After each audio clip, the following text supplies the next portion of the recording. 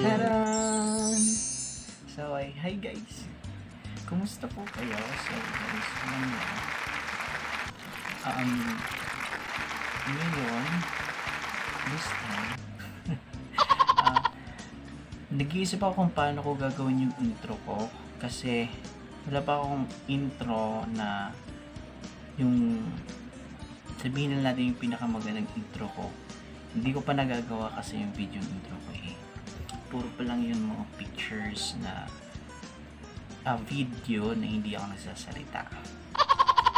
Um, so yung ngayon, pinag-isipan ko kung ano yung mga iba't ibang klase ng intro.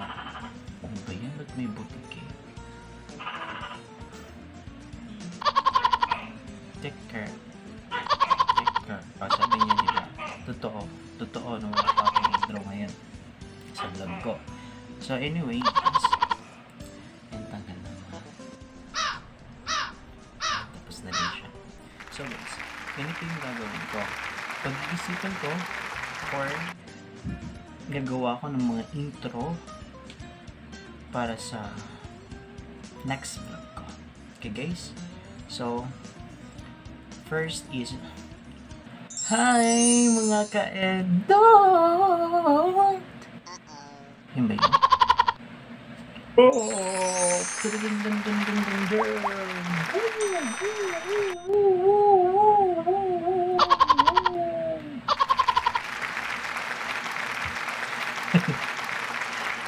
um, wala akong maisip eh. Ano ba ba yung pwede kong Um, eh, don't! Inulit. Ang bagal akong isip. Ano? Oh, fairness guys, ang puti ko dito. Yan. So, kung meron kayong nag-isip na pwede kong i-intro, or suggest kayo na pwede kong i-intro sa vlog ko, um, comment lang kayo guys. Kasi, baka sa mga nabibigay guys kasi idea na gagawin ko. Kasi naisip is, yung, ah, parang yung tono, yung mga kay, yung mga kay, yung mga na, yun yung mga, okay,